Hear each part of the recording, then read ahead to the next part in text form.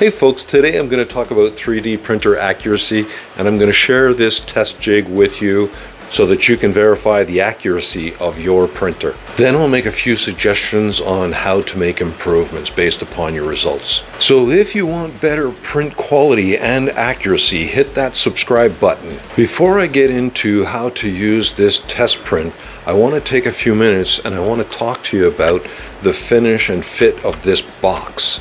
If you're trying to fit some existing parts together or you're trying to 3D print and design some parts, then it'll be important to be able to understand how your printer functions and how accurate it is. It takes a little bit of manipulation to remove the cover, but nothing crazy, and it slides right on.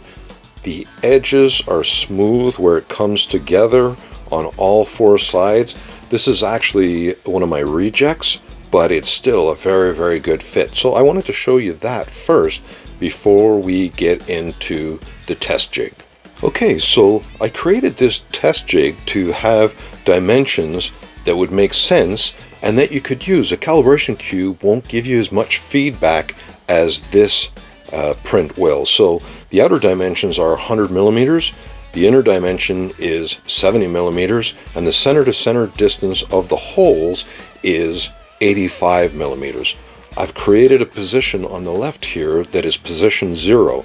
Then we go, I go by degrees, so 45, 90, 135, and so on around.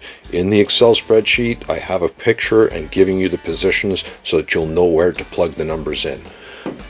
So related to the holes, I used these two uh, drill shanks. They're pretty much new, they're in great shape, and the dimension is solid and stable. So I just converted it to millimeters. These measure 6.28 millimeters. They're both very consistent and I used them to position them in the holes so that I would be able to measure. Now they are a snug fit because we have to make sure that they're vertical when we're taking that dimension so that we don't make any mistakes. We're going to take the dimension as close to the test print as possible because otherwise you could get some distortion and I'm, I'm forcing it right now. So just as an FYI as well, those holes, I pretty much made them size for size and then what I did after I took the readings because I wanted to find out what we're actually doing. And as you can see, that's snug, and that is snug, but this is a brand new bit that I inserted it and I just took my finger and I just cleared the hole so that I'd be able to uh, put it in. I'm basically using it like a reamer. So one important detail that I need to mention is that I design in a fillet or a radius on every sharp corner in this print, including the holes, the bottom edge, uh, all edges have a small fillet radius integrated in and it's because I don't want those edges to interfere with my print. The other thing about putting a small radius is that I find that the side that contacts the bed, you get a much better finish that way. Whereas if you leave it perfectly square, the heat tends to make the edge creep outwards. And I'm, I'm sure there's got to be a term for that, but I don't know what it is. If you know what it is, tell me in the in the comments. I'd appreciate it. But that is something that I did to this box as well, you know. So I I printed on this edge, but I made sure that I had a really nice radius all the way around so that I didn't end up with any sharp edges on it. So the bottom piece was printed on the bed in this position. The top piece was printed on the bed in this position. So the dimensions, I always start at the zero point, so I'm taking the outer dimension uh, this way, making sure that I'm well aligned with my edges. I don't have any sharp edges interfering with my measurement. Then I would go and do the inside dimension this way, and then I come and I will actually insert the drill bit shanks, making sure that they're in solid and that they're vertical to the part. And then I come and I measure across the shanks and I will be subtracting one drill bit shank diameter. Okay, so over here on the left, you're going to see that it's 100 by 100 by 6.35 millimeters is the size. And then typically the quality, I'm going to do a 0.2 layer height I'm doing three walls and I'm going outside to inside. Doesn't really make a difference one way or the other. The results seem to come out the same. So I'm doing four top layers and four bottom layers with one uh, top surface skin layer related to the monotonic. The infill, I'm doing 10%. The material, you guys will need to set this to the temperatures that work with the filament that you typically use. And the last thing is that, that I always do a monotonic top and bottom layer. So I've got the box checked, come down and I slice, and now I'm ready to print. Alright, so you got the Google Sheet open. It's the 3D printer accuracy, and I've got three tabs here down the bottom. The first one on the left is the positions, showing you the positions I described before with the engraving to the zero mark. The next one is where you're going to enter your print test results. The next one is for your print calculations. So if we come back here, all the blue dimensions are the ones that you will replace with your measurements. So we have a first print, we'll do our first print, we're going to make an adjustment, and then we'll do our second print. So when we're looking at the first print, here is where we're going to enter the outer dimensions. In this case, we're targeting 100 millimeters. So 0, 45, 90, and 135. You only need four dimensions in this situation. Uh, you come down, then we're going to do the inner. We'll do the holes center to center. Then we're going to do the thickness. And then we'll do the hole size. So if we actually look at these dimensions, you're going to see that that 100 millimeters comes to 99.7 on the first one.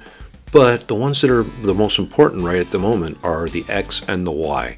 I can't adjust for 45 degree angles, so I'm going to take the average of these two. And I'm going to focus for this example on the X and Y, the outer dimension. I'm not going to apply it to the other parameters. I will adjust for this and then I will see what the results are. So basically, if I look at 99.7 and 99.68, the average is 99.69.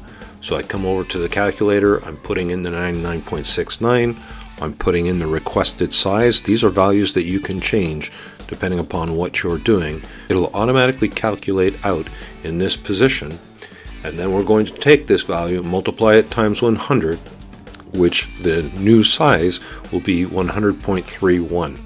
So I could take that value and I come to Cura and I can come over here and I'm going to type in, I'm just going to round it out to one decimal place and then here and I hit enter and so it's adjusted the size. So this is 100.3% increase in size on the X and Y, not the Z because I unchecked the uniform scaling box.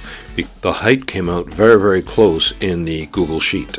So looking at my test results, the target is always put next to the dimension that we're uh, that we are measuring.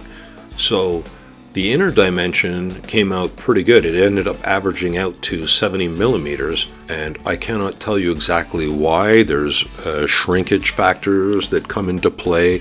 It's like my printer is very well tuned, but you can see that it is not perfectly tuned.